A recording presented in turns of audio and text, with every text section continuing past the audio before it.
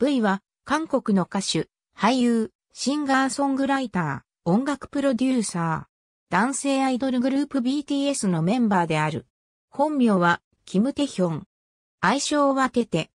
1995年12月30日、大韓民国テグ広域市西区で生まれる。父からの何か一つ楽器をした方が良いというアドバイスから中学生の時にサックスを始め、3年ほど習っていた。大会で金賞を受賞するほどの腕前で、デビュー前の夢はサックス奏者だった。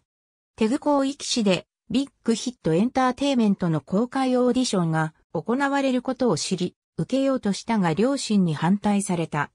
友人の付き添いで見学だけする予定だったが、帰り際に審査員からオーディションを受けに来なさいと言われ、両親を説得して後日行われた非公開オーディションを受けて合格。V はオーディションで唯一の合格者だった。ビッグヒットエンターテイメントに練習生として入所。2013年6月13日、防弾少年団の7人目のメンバーとしてビッグヒットエンターテイメントの公式ホームページに写真が掲載され、デビューを果たした。V は BTS の秘密兵器として最後まで公開されていなかった。2014年に BTS メンバーである自民と共に韓国芸術高等学校を卒業後、グローバルサイバー大学に入学した。デビュー当時の V2015 年4月29日に発売された BTS の韓国でのフォースミニアルバム、歌謡年歌パート1に収録された、ホールドメタイトを共同でプロデュースしたことにより、作詞、作曲デビューを果たした。また、メンバーの菅とファンボーイズを共同制作し、作詞に携わった。同年11月30日に発売された韓国でのフィフスミニアルバム、歌謡年歌パート2に収録されたランではメンバーのユング・クークが作詞を担当し、V は作曲を担当した。さらに2016年10月10日に発売された韓国でのセカンドスタジオアルバムウィングスに収録された初のソロ曲スティグマの作詞、作曲に携わった。2018年5月7日、2曲目となるソロ曲シンギュラリティは BTS のサードフルアルバム Love Yourself 10 Tear のトレーラーとしてリリースされ、10月25日に BBC ラジオで放送された。リリースから1ヶ月後、ガーディアンが発表した2018年6月のトップ50曲、プレイリストに本楽曲が追加され、ビルボードの BTS ソングトップ50にて28位を記録した。ニューヨークタイムズでは同アルバムに収録されているリード曲 Fake Love と共に2018年のベストソング65で20位を記録。ロサンゼルスタイムズのポップミュージック評論家であるミカエル・ウッドは2018年で最もリプレイしたくなる曲の4番目に挙げ、ガーディアンミュージックの評論家であるローラ・スナップスは2018年ベストミュージックアルバムトラックに同曲を追加した。翌年には第14回ソーンピアワーズで最優秀振付賞を受賞した。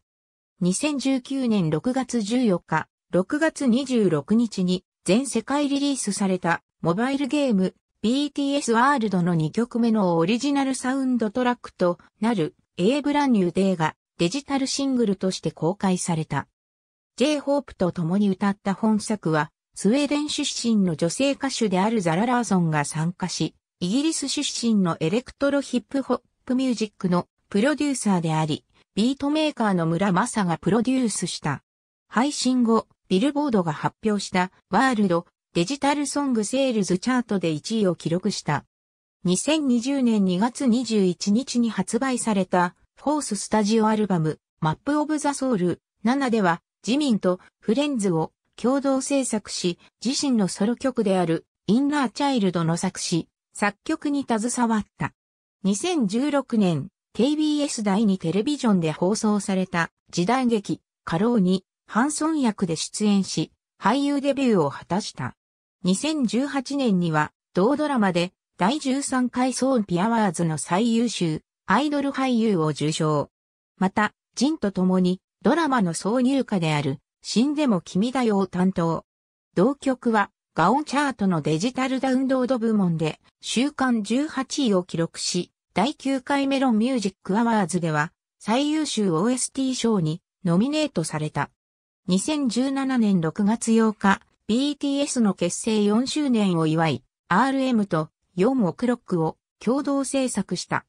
2019年1月30日、自作曲、Scenery を SoundCloud でサプライズリリースした。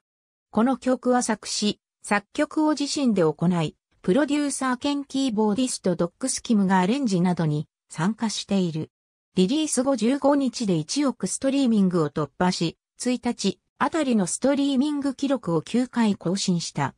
同年8月9日、2曲目となる自作曲 Winter Bear をサウンドクラウドからリリースし、BTS の YouTube チャンネルバンタントブではミュージックビデオを公開。また、ボンタ名義でフォトグラファーとしてジャケット写真を担当した。2020年1月26日には1億ストリーミングを突破し、2作目となる1億ストリーミング声作品となった。韓国のソロアーティストとして2作品で1億ストリーミングを達成するのは初となった。2020年3月13日、JTBC で放送されたドラマ、イテウォンクラスの挿入歌、スイートナイトを作詞、作曲し、リリースした。韓国の主要音楽チャートでは1位を独占し、iTunes トップソングチャートでも1位を獲得。アメリカのビルボードデジタルソングチャート、デジタルソングセールズ部門でも2位を獲得した。また、第7回 APAN スターアワーズでは、アイドルチャンプドラマ OST 人気賞を受賞した。身長178.8センチメートル、体重59キログラム、血液型は AB 型、足のサイズは27センチメートル。家族構成は両親、妹、弟、愛犬で、ポメラニアンの4単。名前に使われている、トールは、何事もうまくいくようにという意味があり、作名詞をしている祖父が名付けた。ファンからは、テテという愛称で親しまれている。ボンタという名前で、フォトグラファーとしても活動している。BTS では、ビジュアル、サブボーカル、サブダンサーを務めている。3オクターブの音域を持ち、中低音のバリトンから高音までを使う高度な技術は海外からも評価されている。また、サックスが得意で、かつてはサックス奏者を夢見ていた。ピアノを弾くこともできる。切れ長でセクシーな人へまぶた、鼻筋の通った高い鼻、笑うと四角になる口が特徴で、彫刻も握る美貌と例えられるほどの端正な顔立ち。そのバーチャルのような完璧な美しさから CGV と称されている。2017年にはアメリカの映画評論家 TC キャンドラーの世界で最もハンサムな顔100人で第1位に選ばれた。一見クールに見えるが人懐っこい性格で、突拍しなく飛び出す不思議な言動から、四次元や五歳児とも呼ばれている。交友関係がとても広いことで有名で、ドラマ、過労で共演した俳優のパクソジュンとパクヒョンシク、同じく俳優のチェウシク、ラッパーのピークボーイとは仲良し5人組、うがうが会を結成している。アパレル関係の仕事をしていた父親の影響もあり、ファッションに凝っている。イタリアの高級ファッションブランドであるグッチを特に愛用しているため、グッチボーイと呼ばれることもある。コリン性ジンマシンという皮膚の病気を患っている。2017年、2018年、2019年、2020年。ありがとうございます。